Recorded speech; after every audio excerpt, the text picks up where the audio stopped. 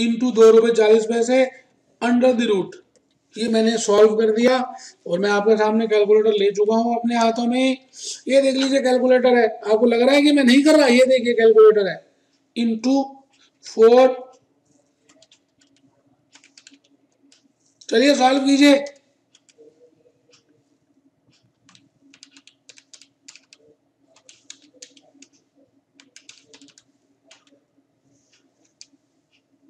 बहुत बढ़िया आंसर आ गया हमारा। 258 यूनिट्स डेसिमल्स में आ रहा है। मैंने इसको 258 यूनिट्स ही लिख दिया। ठीक है जी? तो आपको 258 यूनिट्स खरीदने हैं एक बारी में। आप तभी आप तभी अपनी वेरिएबल कॉस्ट को मिनिमाइज कर सकते हैं और उसके बाद उसने लिखा है कैलकुलेट टोटल इन्वेंट्री कॉस्ट तो मैं उस पॉइंट को भी कर दूँगा मैं ये कहना चाहता हूँ कि इन्वेंट्री कॉस्ट जब भी लिखा हो और परचेज कॉस्ट कॉन्स्टेंट हो तो वो वेरिएबल कॉस्ट ही कहना चाहता है। तो यहाँ लिख सकते हैं as purchase price per unit is constant या इसको ऐसा भी लिख सकते हैं as discount has not been specified. Hence, we can, hence we can, hence we can ignore purchase cost, purchase cost while calculating calculating inventory cost ठीक है जी? तो आपको समझाने के लिए ये भले पेपर में ना लिखे आपको समझाने के लिए लिखा जी मैंने। तो आइए, मैं अब यहाँ इस क्वेश्चन में आपको दो मेथड्स बताऊँगा। टोटल वेरिएबल कॉस्ट को निकालने के आप लिख लें। Total variable cost can be calculated by two methods दो मेथड से निकलेगी। Method number one method number one with help of with help of equation method जो भी अभी हमने पहले क्वेश्चन में किया था इक्वेशन मेथड मैंने नाम दे दिया। वैसे इसका नाम इक्वेशन मेथड नहीं है, जैसे ordering cost plus holding cost को अगर हम टोटल करें तो वेरिएबल कॉस्ट ही तो आएगा। तो मेथड वन में देख लें ऑर्डरिंग कॉस्ट एनुअल कंजम्पशन कितनी है? चौबीस सौ upon q two fifty eight into cost per order चार रुपए plus two fifty eight plus zero upon two into into तो देख लें जी।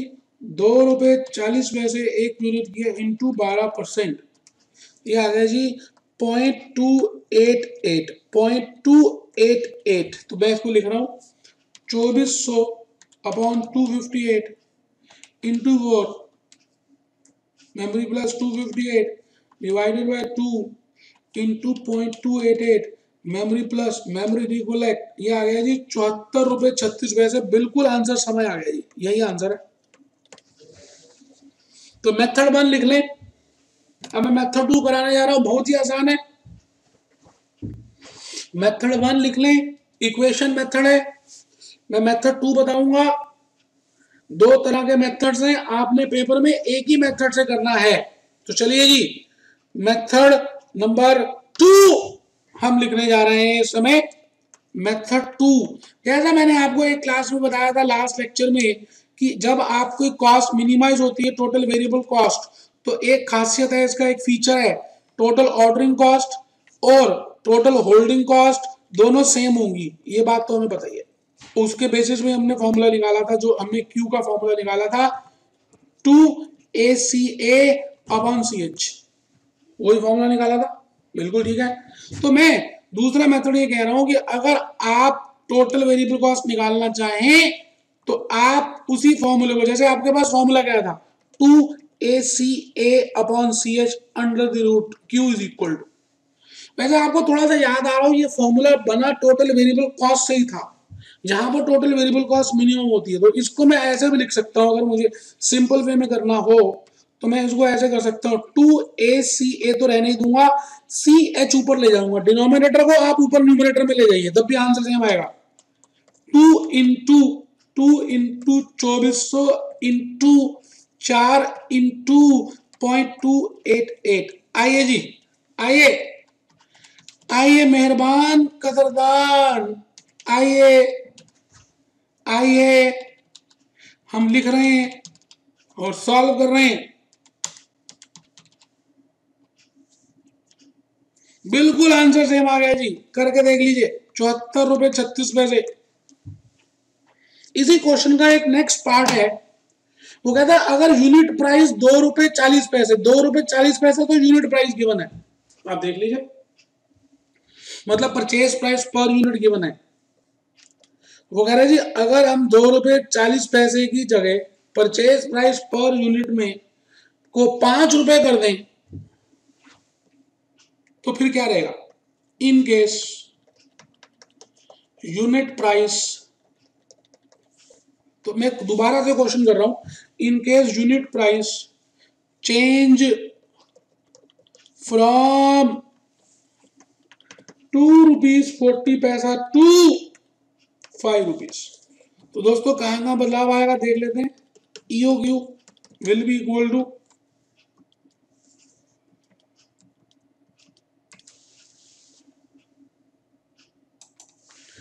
two A C A upon C H तो two into twenty four hundred into चार upon अब यहाँ point two eight eight नहीं रहेगा क्योंकि आपकी बारह परसेंट तो समझ आता है इंटू पाँच रुपए का करेंगे जी। क्यों? क्योंकि परचेज प्राइस अब पाँच रुपए है जी। आपकी बारह परसेंट पाँच रुपए की पूंजी लग रही है जी। पॉइंट सिक्स तो चलिए जी। टू इंटू चौबीस सौ into four upon point six is equal to under the root ये आ गया जी one seventy eight point eight eight units तो लिखें in case unit price is rupees five in case unit price is rupees five then you q change होगा? मैं तो कहता हूँ जी, इस इक्वेशन में ए सी ए और सी एच में कहीं भी चेंज आएगा तो आंसर चेंज आएगा। ठीक है जी? आपको लग रहा है कि आप इस समय फॉर्मूला रट भी नहीं रहे और बिना रटे फॉर्मूले के आप काम करते जा रहे हैं। आप समझ रहे हैं कि आपने ऐसे ही एग्जीक्यूटिव में रटा, रटने की ज़रूरत ही नहीं थी दोस्तों। बस मैं क्वेश्चन नंबर सेवंथ का हल्का सा बताने के बाद ये लेक्चर को आज यहाँ पे क्लोज करूँगा और फिर लेक्चर थ्री में हम मिलेंगे। क्वेश्चन नंबर सेवन अगर आप ध्यान से पढ़ लें एक मिनट के लिए, मैं एक मिनट दूँगा आपको। वेरी वेरी इंपॉर्टेंट क्वेश्चन है। और आपने बताना है कि इस क्वेश्चन में नया पॉइंट क्या है?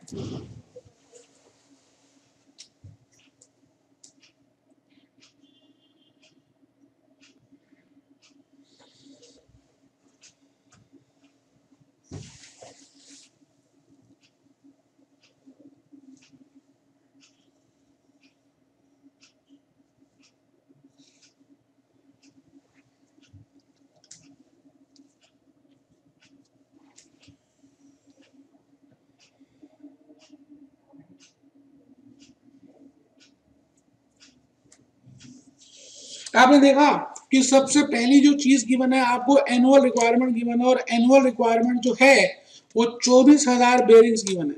Twenty four thousand bearings annual requirement is twenty four thousand bearings और होल्डिंग कॉस्ट जो गिवन है, वो दस पैसे गिवन तो है, लेकिन वो पर मंथ गिवन है। पर मंथ गिवन है।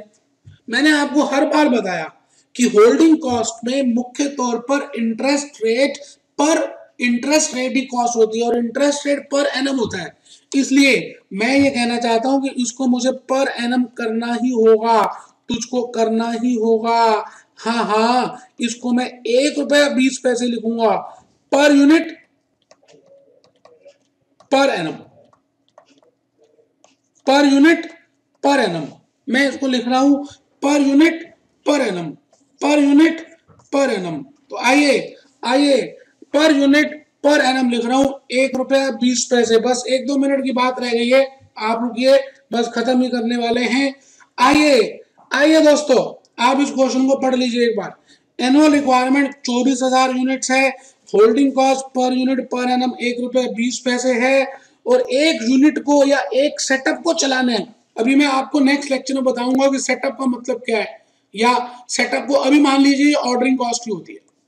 अभी मान लीजिए कि ऑर्डरिंग कॉस्ट ये है। Setup is equal to ordering cost setup cost is equal to ordering cost ऐसा मान लीजिए, ठीक है जी? तो उसको चलाने के तीन सौ चौबीस रुपए हैं। What would be the optimum run size वो कह रहा है, कितने यूनिट्स एक सेटअप में बनाए जाए? कि जिससे कि आपकी क्वांटिटी इकोनॉमिक आ जाए। बहुत बढ़िया बहुत बढ़िया बहुत बढ़िया बहुत बढ़िया। फिर वो कह रहा है assuming that company has a policy of manufacturing six thousand per run how much extra cost that company is incurring तो चलिए जी, बहुत ही बढ़िया बात क्वेश्चन में है। मैं एक मिनट लगाकर इसको समझा रहा हूँ और फिर मैं इस लेक्चर को कंक्लूड करूँगा। मैं सबसे पहले तो फ़र्स्ट पार्ट लिख रहा हूँ और फ़र्स्ट पार्ट में क्या है, क्यू निकालना है मुझको दोस्तों? Two A C A upon C H is equal to two into twenty four thousand into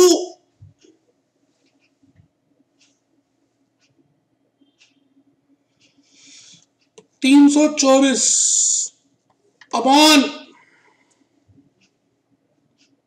एक रुपया बीस पैसे। आपको मालूम है कि मैंने एक रुपया बीस पैसे क्यों किया? ये मैंने कैलकुलेटर अपने हाथ में ले लिया। यकीन ना तो देख लीजिए। इनटू और मुझे उम्मीद है कि आप भी कैलकुलेटर से ज़रूर कर रहे होंगे, क्योंकि तभी तो समझ आएगा, तभी तो ज़्यादा समझ आएगा। ये लीजिए, छत्तीस यूनिट्स आ भी गए, इसका मतलब एक सेटअप में इस कंपनी को 3600 यूनिट्स बनाने चाहिए, तभी इसकी कॉस्ट मिनिमाइज हो सकती है। बहुत बढ़िया। दोस्तों, एक बात क्वेश्चन में लिखी हुई है सेकंड पार्ट में। कि अगर ये कंपनी 6000 यूनिट, पहले आप यहाँ तक नोट कर लें। पहले नोट कर लें। मतलब आप ये कह रहे हैं कि मारुति सुजुकी को एक बारी में कितनी गाड़ियाँ बनानी चाहिए? तो मैं कहता हूँ जी, तीन हज़ार छह सौ गाड़ियाँ बनानी चाहिए एक बारी में। अगर वो तीन हज़ार छह सौ गाड़ियाँ एक बारी में बनाएगी तो उसकी टोटल वेरिएबल कॉस्ट मिनिमम आएगी। यही सत्य है, यही सत्य है, यही सत्य है। बट सेकंड पार्ट में अगर आप देखें तो वो कह रहे हैं कि अगर वो तीन हज़ार छह सौ यूनिट ना बनाए, उसकी जगह छह हज़ार बनाए सिक्स थाउज़ेंड यूनिट्स बनाए तो उसकी एक्स्ट्रा कॉस्ट क्या लगेगी? तो बिल्कुल ठीक है, हम आ सकते हैं और बता सकते हैं कि एक्स्ट्रा कॉस्ट क्या लगेगी। तो मैं लिख रहा हूँ statement showing calculation of total variable cost in दोनों प्रपोजल्स में मैं आराम से टोटल वेरिएबल कॉस्ट निकाल सकता हूँ। और जैसा मैंने कहा, पहला प्रपोजल है कि मैं 3600 यूनिट्स बनाता हूँ और दूसरा प्रपोजल है कि मैं 6000 यूनिट्स बनाता हूँ। तो यहाँ पर भी सेटअप कॉस्ट लगेगी, जो ऑर्डरिंग कॉस्ट के बराबर होती है। ऐसा मैंने आपको कहा, एक मिनट के लिए मान लीजिए। और होल्डिंग कॉस्ट लगेगी सेटअप कॉस्ट तो आप बताइए जी, मुझे चौबीस हज़ार यूनिट्स बनाने और मैं एक बारी में तीन हज़ार छह सौ बनाता हूँ। तो मैं कितनी बार सेटअप करूँगा? जैसे आप पढ़ने के लिए बार बार बीच में उठ जाते हैं तो जब आप दोबारा बैठते हैं तो आपको बैठने में थोड़ा सा समय लगता है, दोबारा से सेटिंग करनी पड़ती है। बिल्कुल इसी तरह से मशीन को जब हम बंद करते हैं और दोबारा खोलते हैं तो मशीन थोड़ा समय लेती है, उसी को तो नाम है सेटअप कॉस्ट उसी को बोलते हैं सेटअप कॉस्ट आइए आइए मेहरबान, आइए आइए, इनटू इनटू इनटू इनटू। यहाँ पर हम एक रुपया बीस पैसे तो पहले भी निकाल चुके हैं। अब यहाँ दूसरा भी मैं लिख देता हूँ, चौबीस हज़ार, अपॉन छ हज़ार इंटू तीन सौ चौबीस। दूसरा छ हज़ार, अपॉन दो इंटू एक पॉइंट दो। अब आप देख लीजिए, सॉल्व कर लेते हैं। वैसे मैंने इसकी सॉल्यूशन पूरी सॉल्व कर दी है। अपने बुक में इसको मैंने पूरा सॉल्व करके दिखाया है। आप फिर भी कैलकुलेट करें, क्योंकि कहते हैं जी, कैलकुलेट करने से ही बातें ज़्यादा समझ आती है।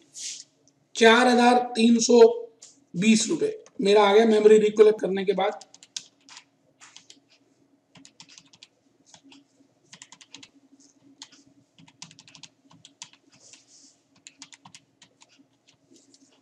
ये आ गया जी four thousand eight hundred ninety six. ये पाँच सौ छिहत्तर रुपये आ गया जी। आराम से पहले आप नोट कर लें। हमारा आंसर बिल्कुल सेम आ गया है। 576 ही लिखा हुआ है। और मैंने आपको इस प्रेजेंटेशन से बताने की कोशिश की है कि पाँच सौ छिहत्तर रुपये कैसे आया है और 576 रुपीस का डिफरेंस आ रहा है, जो मैं लिख चुका हूँ। तो प्लीज़ आप लिखें। लास्ट है what is minimum inventory holding cost what is minimum inventory holding cost तो मैं लास्ट पार्ट करने जा रहा हूँ। वो खाली होल्डिंग कॉस्ट पूछ रहा जी, और कुछ नहीं पूछ रहा। और मिनिमम पूछ रहा जी, और आपको पता है मिनिमम तो हमेशा इकोनॉमिक ऑर्डर क्वांटिटी पे होती है। तो मैं लिख रहा हूँ minimum holding cost is equal to छत्तीस plus zero upon two into एक रुपया बीस पैसे। लो जी। लो जी, लो। लो जी, लो। ये आ भी गया जी दो हज़ार एक सौ साठ रुपए इसने खाली होल्डिंग कॉस्ट पूछी थी। इसलिए मैंने खाली होल्डिंग कॉस्ट लिखी है। Minimum holding cost two thousand one hundred sixty rupees minimum holding cost two thousand one hundred sixty rupees बिल्कुल ठीक है दोस्तों। लिख लीजिए। होमवर्क लिख लें, जो मुझे लगता है कि जो आपको इस लेक्चर के बाद कर लेना चाहिए, वैसे तो मैंने सभी क्वेश्चंस करा दिए हैं। फिर भी आप एक, दो क्वेश्चंस घर में चाहें तो कर सकते हैं। जैसे क्वेश्चन नंबर सेवंथ है, उसको कर लेना चाहिए। सेवन तो मैंने कराई दिया क्वेश्चन नंबर फोर्थ होमवर्क में लिखें। एक तो फोर्थ घर में करना चाहिए। और मैं तो कहता हूँ होमवर्क करने से पहले आप एक बार पहले इन्हीं क्वेश्चंस को दोबारा से एक बार कर लीजिए तो मुझे लगता है बहुत ज़बरदस्त कॉन्फिडेंस आएगा आपको। क्वेश्चन सिक्स क्वेश्चन नाइन्थ और क्वेश्चन टेंथ ये चार क्वेश्चंस मैंने दिए हैं। अगर आप समझदार बच्चे होंगे तो ये चारों क्वेश्चन ज़रूर करेंगे। यहीं पर लेक्चर नंबर टू का एंड होता है। मेरी शुभकामनाएँ आपके साथ हैं। आप कभी भी मुझको अपनी queries email WhatsApp SMS call किसी भी तरह से कर सकते हैं दोस्तों। मैं मदद करना चाहता हूँ आपकी और मैं चाहता हूँ कि लाइफ में आप जल्दी से सक्सेसफुल बने। नमस्कार नमस्कार। मिलते हैं दोस्तों।